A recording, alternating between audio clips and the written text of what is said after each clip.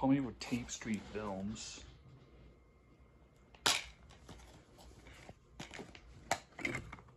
Full on from Blockbuster.